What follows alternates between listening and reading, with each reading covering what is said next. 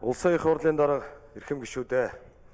Улсын их хурлын гишүүн бүрбд оржоос 2022 оны 4-р сарын 26-ны өдөр Улсын их хурлд өргөн мэдүүлсэн гэмт хэрэг зөрчлөөс урьдчилан сэргийлэх тухай хуульд өөрчлөлт оруулах тухай хуулийн төслийн хэлц хэсэг асуудлыг хууль зүйн байнгын хороо 2022 оны 10-р сарын 18-ны өдрийн хуралдаанаараа хэлцлээ. Хууль санаачлагч гэмт хэрэг зөрчлөөс урьдчилан сэргийлэх тухай хуульд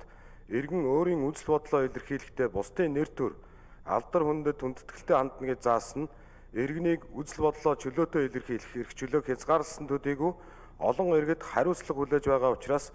тус зохицуултыг хасах шаардлагатай гэж үзэн хуулийн төслийг боловсруулсан бөгөөд хуулийн төсөл батлагдсанаар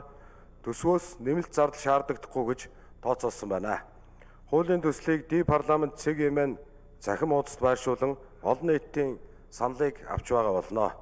Байнгын хорооны хуралдаанаар хуулийн төслийг хилцэх үед улсын их хурлын гишүүн мөнх оргил хэрэг зөрчлөөс урдсан сэргийлэх тухай хуулиар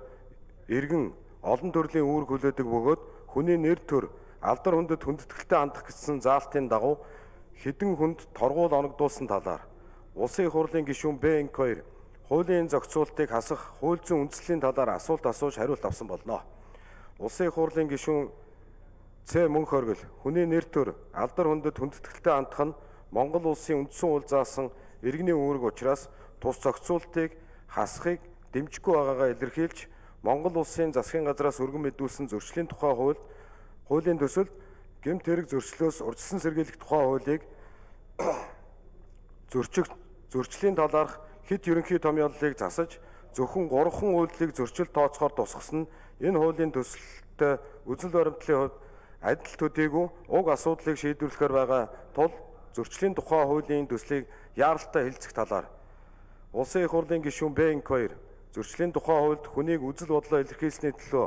торгох шийтгэл байхгүй бөгөөд хууль хяналтын байгууллагын албан хаагчид хуулийг гажуудуулсан байж болзошгүйг онцолж Монгол улсын үндсэн хууль заасан иргэний үндсэн үүргийг баттгсан зохицуултыг хасах хуулийн төслийг дэмжихгүй байгаа талаар тус тус санал хэлсэн болно. Гэмт хэрэг зөрчлөөс урьдчилан сэргийлэх тухай хуульд өөрчлөлт оруулах тухай хуулийн төслийг байнгын хорооны хуралдаанд оролцсон нийт гишүүдийн олонх буюу 63.6% нь үзэл баримтлалын хүрээнд хэлцгийг дэмжиж чуулганы нэгдсэн хуралдаанаар хилцүүлэх нь зүйтэй гэж үзсэн болно. Улсын хурлын эрхэм гишүүдээ гэмт хэрэг зөрчлөөс урдсан сэргийлэх тухай хуульд өөрчлөлт оруулах тухай хуулийн төслийг хэлц хэсэх талаар хууль зүйн байнгын хорооны санал дүгнэлтийг хэлцэн шийдвэрлэхийг та бүхнээс өсөе. Анхаарал тавьсанд баярлалаа.